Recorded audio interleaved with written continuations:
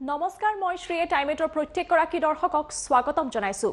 এক আজব ঘটনা সংঘটিত হৈছে নাৰায়ণপুৰত আৰু ব্ৰইলাৰ ফাৰ্ম খোলাৰ বাবে এটা পৰিয়ালক এঘৰীয়া কৰিলে শংকৰ সংঘই আৰু এনেধৰণৰ আজব ঘটনাক এতিয়া সকলোৱে গৰিহণা দিছে? কিয়নো বৰ্তমান সময়ত কভিডৰ পৰিস্থিতিত য'ত খাবলৈ নাপায় বহুতো লোকে হুলস্থুল কৰিবলগীয়া হৈছে। তাতে গাহৰ ব্ৰইলাৰ ফাৰ্ম খোলাৰ বাবে এতিয়া যেতিয়া পুনৰবাৰ এজন এঘৰ মানুহক এঘৰীয়া কৰা হ'ল তেনে পৰিস্থিতিয়ে এতিয়া আজব ঘটনা সংঘটিত কৰিছে নাৰায়ণপুৰত। আকৌ শ্ৰীমন্ত শংকৰদেৱ সংঘৰ ধৰ্মীয় গোৰামী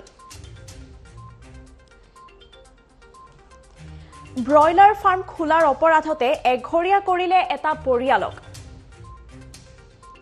শংকৰদেৱ সংঘৰ প্ৰাথমিক সদস্যৰ পৰা বহিষ্কাৰ কৰা হ'ল নাৰায়ণপুৰৰ চৈধ্য পুনিয়াৰ এই ঘটনা সংঘটিত হৈছে আৰু এটা পৰিয়ালক বহিষ্কাৰ কৰা হ'ল তাৰ পৰা। জিতু হাজৰিকা নামৰ লোকজনক তেখেতৰ পুত্ৰই জীৱিকা হিচাপে বাছি লৈছিল ব্ৰইলাৰ ফাৰ্ম। কিন্তু তাৰ পিছতে ব্ৰইলাৰ ফাৰ্মক জীৱিকা হিচাপে বাছি লোৱাটোৱে হ'ল শংকৰ সংঘৰ বাবে এক অপৰাধ। ৰাইজৰ প্ৰচলিত নিয়মৰ বিপৰীতে অসাংবিধানিক কৰ্ম কৰা বুলি অভিযোগ উত্থাপিত হৈছে বৰ্তমান সময়ত। প্ৰাথমিক সভাপতি কোষেশ্বৰ হাজৰিকা সম্পাদক মহেশ্বৰ দত্তৰ স্বাক্ষৰিত পত্ৰযোগে বহিষ্কাৰৰ ঘোষণা কৰা হয়।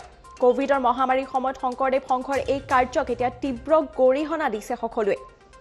এক আজব ঘটনা সংঘটিত হৈছে। ব্ৰইলাৰ ফাৰ্ম খোলাৰ বাবে এতিয়া এঘৰীয়া কৰিলে এটা পৰিয়ালক।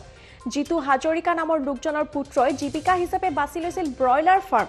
বৰ্তমান কভিডৰ পৰিস্থিতিত সকলোৱে খাবলৈ নাপাই হুলস্থুল কৰিবলগীয়া হৈছে।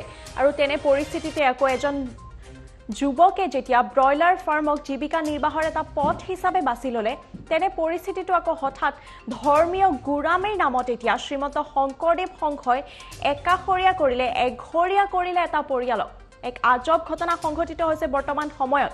সমগ্ৰ ৰাজ্যত কৰোণা সংক্ৰমিত সংক্ৰমণ বৃদ্ধি হৈ এতিয়া ত্ৰাসৰ সৃষ্টি কৰাৰ সময়তে ব্ৰইলাৰ ফাৰ্ম খোলাৰ অপৰাধত শংকৰদেৱ সংঘৰ প্ৰাথমিক সদস্যৰ পৰা এটা পৰিয়াল বহিষ্কৃত হ'বলগীয়া ঘটনা এতিয়া তীব্ৰ প্ৰতিক্ৰিয়াৰ সৃষ্টি কৰিছে।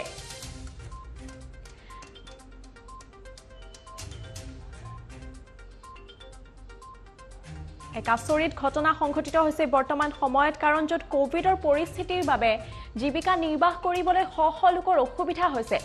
দুবেলা দুমুঠি খাবলৈ পইচা নাইকিয়া হৈছে তেনে পৰিস্থিতিত নিজে জীৱিকা নিৰ্বাহ কৰিবলৈ মাত্ৰ ব্ৰইলাৰ ফাৰ্ম খুলিছিল এজন যুৱকে। আৰু তাৰো এতিয়া বিপৰীতে আন এক ঘটনাহে সংঘটিত হ'ল। জীৱিকা নিৰ্বাহ কৰাটোতো দূৰৰে কথা সেই যুৱকজনক আৰু সেই পৰিয়ালটোক এঘৰীয়া কৰিলে শ্ৰীমন্ত শংকৰদেৱ সংঘই। শ্ৰীমন্ত শংকৰদেৱ সংঘৰ এই ধৰ্মীয় গোৰামীক এতিয়া তীব্ৰ গৰিহণা দিছে সকলোৱে। প্ৰাথমিক সভাপতি কোষেশ্বৰ হাজৰিকা আৰু সম্পাদক মহেশ্বৰ দত্তৰ স্বাক্ষৰত পত্ৰযোগে বহিষ্কাৰৰ ঘোষণা কৰা হৈছে। জিতু হাজৰিকা নামৰ লোকজনৰ পুত্ৰই এই কাম বাছি লৈছিলে আৰু তাৰ পিছতে এনেধৰণৰ ঘটনা সংঘটিত হৈছে এক আচৰিত ঘটনা। ধৰ্মৰ নামত স্বাৱলম্বিতাৰ পথত শংকৰদেৱ সংঘৰ উক্ত প্ৰাথমিকটোৱে বাধা দিছে আৰু কাৰ্য সচেতন এতিয়া চিন্তাত পৰিছে এতিয়া সেই ব্যক্তিজন লগতে পৰিয়ালটো। কিয়নো ব্ৰইলাৰ ফাৰ্ম খোলাটো কোনো এক পাপ কাম নহয় বুলি প্ৰত্যেকজন ব্যক্তিয়ে অসমত বা সমগ্ৰ ভাৰতবৰ্ষতে অৱগত। তেনে পৰিস্থিতিত আকৌ বৰ্তমান সময়ত ব্ৰইলাৰ ফাৰ্ম খোলাৰ কাৰণে যি এক ঘটনা সংঘটিত হ'ল সেই ঘটনা এতিয়া সমগ্ৰ অসমতে চাঞ্চল্যৰ সৃষ্টি কৰিছে আৰু তীব্ৰ গৰিহণা দিছে প্ৰত্যেকজন ব্যক্তিয়ে ধৰ্মৰ নামত যি গোৰামী কৰিছে শ্ৰীমন্ত শংকৰদেৱ সংঘই তেনে পৰিস্থিতিত এতিয়া এক গৰিহণা দিছে সকলোৱে। আমাৰ আমাৰ সৈতে এই বিষয়ে সবিশেষ জানিবলৈ মন্তব্য আছে টাইমেটৰ প্ৰত্যেকগৰাকী দৰ্শকক। মন্তব্য শুনাই লৈছো। আমাক হয় আমি এনেকুৱা এখন কাগজ অহাৰ কাৰণে আমি অতিকৈ ভাগি পৰিছোঁ। ক'বলৈ মানে ভাষা নাইকিয়া নিচিনা হৈছে। যিমান হ'লেও পৰিয়ালটো পোহপাল দিয়াৰ প্ৰতিও অকণমান কষ্ট আছে। আমাৰ খেতি বাতি কৰা বেলে- বেলেগ উপাৰ্জনটো আমাৰ নাই। সেইকাৰণে আমি ব্ৰইলাৰ ফাৰ্মখনকে খোলাৰ সিদ্ধান্ত কৰিছিলোঁ। সোণা কোম্পানীৰ পৰা আমাক দিছে ব্ৰইলাৰখিনি। আমাৰ যিমান হ'লেও ইয়াত আমাৰ কোনো নিজৰ নহয়। কোম্পানীয়ে আমাক দৰমহা ছিষ্টেমত দিব। আমি সেইদে ধৰি লৈছোঁ আমাৰ দৰমহা দিব। আমি ইয়াত প্ৰতিপালন কৰি আছোঁ। তাৰ নিৰ্দিষ্ট সময়ত কোম্পানীয়ে লৈ গুচি যাব আৰু ঘৰৰ ভিতৰত আবদ্ধ হৈ থাকিব। যিসকল ব্যক্তিয়ে খায় সেইসকলৰ ওপৰত এনেকুৱা এটা আৰু এনেকুৱা এটা হেৰি ল'ব লাগে ডিচিশ্যন ল'ব লাগে। খোৱাসকলৰ প্ৰতি পোহাসকলৰ কি দুখ? কৰোণা সময়ত এতিয়া কৰোণা সময়ততো বেলেগ উপায় একোৱেই নাই উপাৰ্জন কৰাৰ সেই- বাহিৰলৈও যাব নোৱাৰি। ঘৰৰ ভিতৰতে থকা যিমান হ'লেও। কাগজখিলা দিছিলে? আমাৰ সম্পাদক মহোদয়ে দিছিলেহি নাম তেওঁলোকে মহেশ্বৰ দত্ত আৰু সভাপতি কোষেশ্বৰ হাজৰিকা। কোষেশ্বৰ হাজৰিকাৰ বাবে আকৌ বহুত বিতৰ্কও কৰিছিলে এই ব্ৰইলাৰ ফাৰ্ম খোলালৈ ৰাইজৰ আগত। আমাক খুলিবলৈ তেওঁ অনুমতি দিছিলে। কিন্তু ৰাইজে সিদিনা যিখন মিটিং হ'ল তেখেতক বহুত মানে বেয়া ব্যৱহাৰে কৰিছে বুলি ক'ব পাৰি। কি কাম হ'ব গাঁওখনৰ নামটো? চৈধ্যপনীয়া। হয়। আকৌ ব্ৰইলাৰ ফাৰ্ম কৰিবানে নাই মই ব্ৰইলাৰ ফাৰ্ম কৰিয়ে যাম। যিমান হ'লেও বেলেগ উপাৰ্জন কৰিবলৈতো নাই বাটেই নাই। যিমান হ'লেও কৰোণা মহামাৰীৰ কাৰণেতো আৰু বেলেগ উপায়ো নাই। সেইকাৰণে মই আৰু এখন খোলাৰ সিদ্ধান্তহে লৈছোঁ এতিয়া। চৈধ্যপনীয়া। আজিৰ পৰা ঠিক বিছ দিনৰ আগত নামঘৰত এখন ৰাজহুৱা সভা দিলে। আমাৰ ল'ৰাকেইটাই এই দুজন ল'ৰা মোৰ ল'ৰাটো আৰু লগৰ বন্ধু এজনৰ সৈতে এইখন ব্ৰইলাৰ ফাৰ্ম খুলিছিলে। তাৰ পৰিপ্ৰেক্ষিতত নামঘৰত এখন ৰাজহুৱা সভা আহ্বান কৰিলে আৰু সেই সভালৈ মোকো নিমন্ত্ৰণ কৰিলে। সেই সভাতে মোক জনালে যে মই অসাংবিধানিকভাৱে কাৰ্য কৰাৰ কাৰণে ব্ৰইলাৰ ফাৰ্ম খোলাৰ কাৰণে মোৰ মোৰ লগত কোনো খোৱা বোৱা ব্যৱস্থা নাথাকে।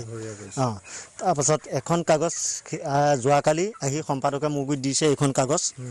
এই কাগজখনত তেওঁলোকে সম্পূৰ্ণৰূপে লিখিছে যে আমাৰ গৃহত কোনো খোৱা বোৱা ব্যৱস্থা নাথাকে। যিহেতু মই কৰা নাই মোৰ ল'ৰাই এই ফাৰ্মখন হেৰি কৰিছে যিহেতু নিবনুৱা ল'ৰা।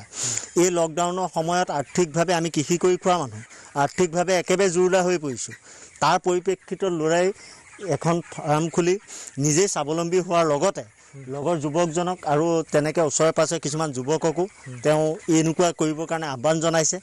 গতিকে মই ভাবোঁ যে মই এটা শ্ৰীমন্ত শংকৰদেৱ সংঘৰ পদাধিকাৰ প্ৰভু তথা প্ৰধান সম্পাদক ডাঙৰীয়াক এটা কথাই অনুৰোধ জনাব বিচাৰোঁ। এনেকুৱা যাতে নিবনুৱা ল'ৰাসকলক এনেকুৱা ব্ৰইলাৰ ফাৰ্ম হওক অন্য যিখিনি আমাৰ শংকৰ সংঘই কৰিব পৰাৰ ব্যৱস্থা আছে সেইখিনি কৰাই নিবনুৱা ল'ৰাসকলক সংস্থাপিত কৰাৰ এটা ব্যৱস্থা কৰে যেন তাৰ কাৰণে মই অনুৰোধ জনাইছোঁ। আৰু